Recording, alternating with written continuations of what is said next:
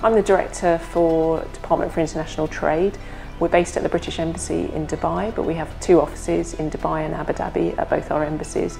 And we're all about promoting UK companies doing business in the UAE, but also encouraging UAE investment in the UK. We've been helping British companies here for 30, 40 years. The aim is to increase bilateral trade. It currently stands at around 18 billion pounds. We estimate there are over 6,000 UK companies doing business here already. Conditions here are, are great because you know the UAE wants to encourage these companies. The infrastructure is here, the workforce is here. You have a young country that is encouraging and enabling you to do business here and to grow your business and to expand.